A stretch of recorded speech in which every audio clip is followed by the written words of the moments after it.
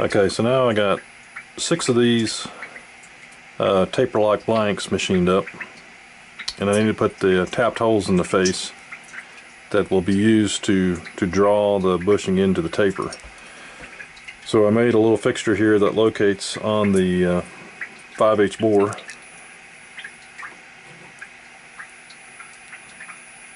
And a little clamp I made.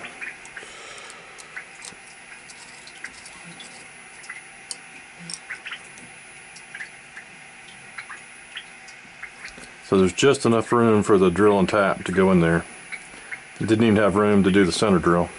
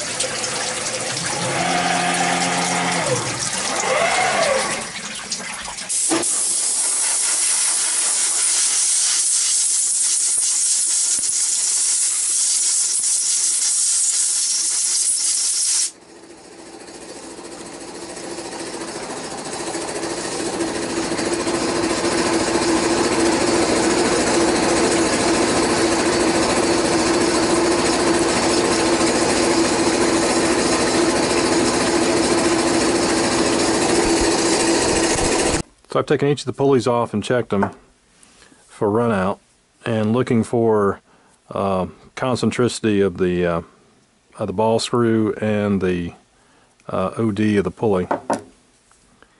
And what you can see is I've got anywhere from one to five thousandths of runout in these things,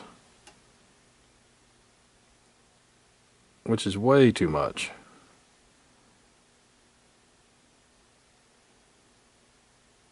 That's almost five on that one.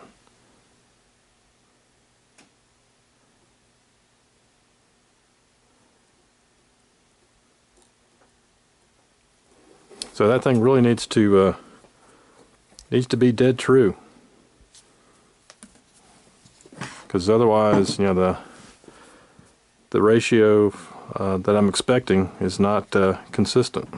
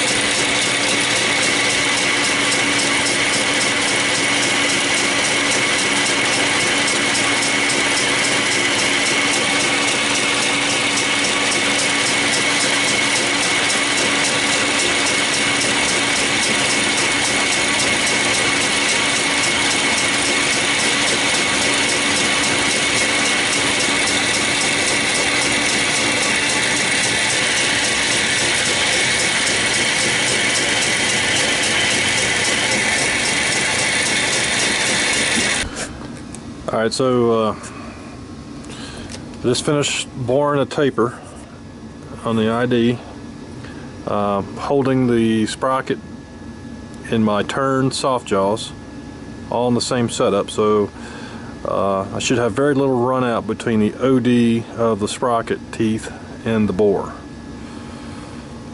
So uh, if you can see that indicator from up here.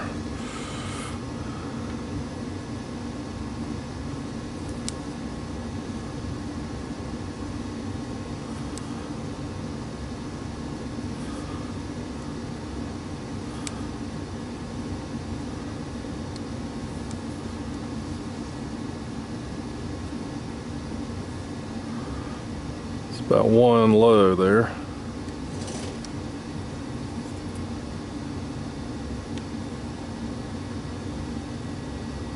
So not quite one on the on the sprocket, and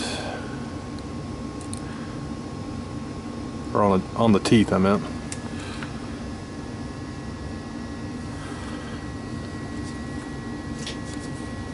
And inside there, if you can see that.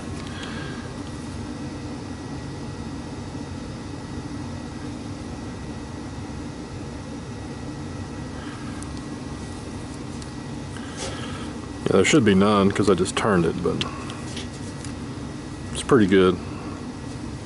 About a half. So that's about as good as I can do as far as making these little sprockets run true. Okay, so taper locks are installed and I'm checking the run out here. When I'm machined them in the soft jaws, I went ahead and turned this flange too so I'd have a reference surface to make this easier to check. It looks about like one and a half TIR on that one, which is about as good as I could get my jaws on the lathe.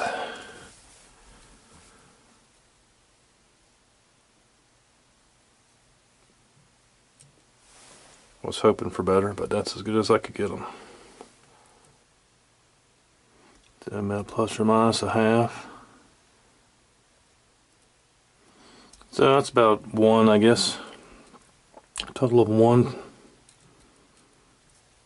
Which is about as good as I could get my soft jaws on the lathe. Just couldn't, uh, just couldn't get them to, uh, to repeat any better than that. So that should be a whole lot better than where I was at. So uh, next I'll do the chart test. Alright, so this is my crude test for checking uh, actual motion error. Okay, so what I've got is uh, a little program that simply starts from a zero position and moves in 5,000 steps uh, with a four second dwell between moves.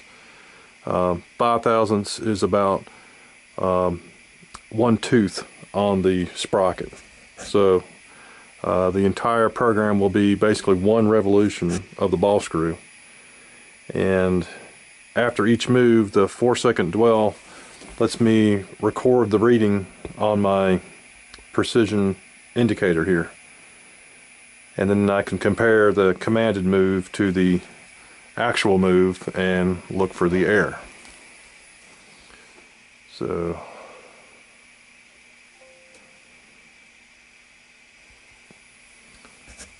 so first move is five thousandths, ten thousandths, fifteen, and there's the actual measured 20 oh 25 1 so so far we've got a one tenth uh, accumulated error.